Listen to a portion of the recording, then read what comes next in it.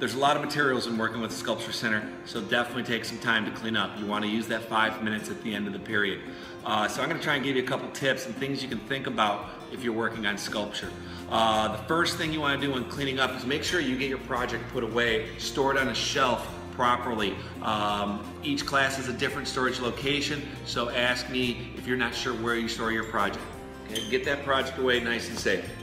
Okay. Second thing, uh, we need to get all the materials put away.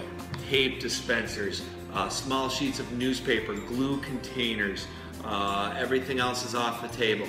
Get it put away. All right, goes right back, most of it back at the uh, Sculpture Center. Tape goes back at the uh, Paper Art Center. Uh, then finally, we've got to make sure that table is clean. If you're painting or using glue, that can go on the table. Actually, the glue is one of the hardest things to clean off the table. Uh, get a wet rag or a damp sponge, wipe that table down so that it is uh, good to use. If you let that glue dry on the table, it makes a bumpy surface for anybody who's drawing on that table, uh, makes it difficult. So wipe that table down.